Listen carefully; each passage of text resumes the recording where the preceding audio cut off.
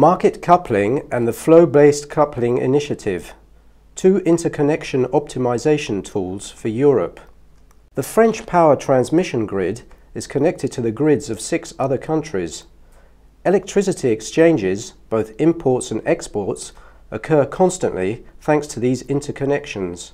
Interconnections are a way of providing mutual assistance between neighbouring countries through the complementary nature of their consumption profiles and their generation fleets, thereby strengthening their security of supply. They also enable participants on the wholesale market to purchase electricity from the country in which the wholesale market price is lowest at a given hour.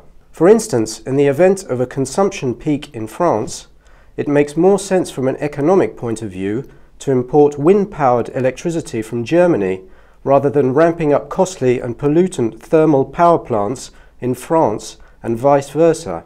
To ensure that interconnections are used in the right direction, meaning from the country with the lowest electricity price to that with the highest, a system based on algorithms known as market coupling has been implemented by 17 European countries. This mechanism concerns four out of six French borders. Market coupling matches the purchase offers of all these countries with the least expensive generation units across the entire area.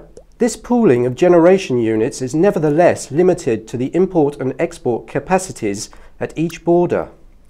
The way these capacities are calculated is therefore essential in allowing a maximum of exchanges while ensuring the safety of the grid. Let us take an example.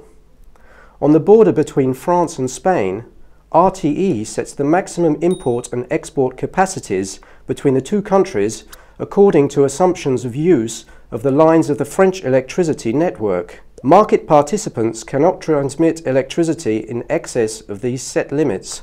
The calculations are slightly more complex for exchanges with Belgium and Germany. As these two countries are very close geographically, the same lines of the French electricity grid are used for exchanges with either country. RTE must take this interdependence into account when setting the maximum import and export limits with these two countries. RTE currently allocates these maximum capacities by distributing them ex ante across each of the two borders, without taking into account actual market needs, which may result in non-optimized network use. Let us consider a case in which RTE allocates a maximum export capacity of 500 megawatts to both Belgium and Germany, while Belgium wishes to import 1000 megawatts and Germany no electricity at all.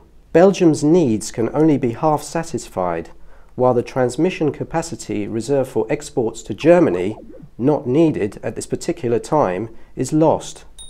To avoid such situations, a new method known as flow-based market coupling will be implemented between France, Germany, Belgium, Luxembourg and the Netherlands. With this method, the network will automatically be used for more useful exchanges. In our example, RTE will set an overall maximum export capacity to Belgium and Germany. The flow-based mechanism will then define the optimal export solution to each of these two countries.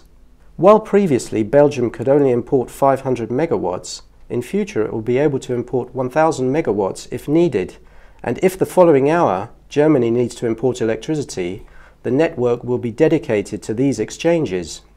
The flow-based system therefore increases exchange potential on borders where they are the most useful, thereby making the management of consumption peaks easier while cutting the overall generation cost in these countries.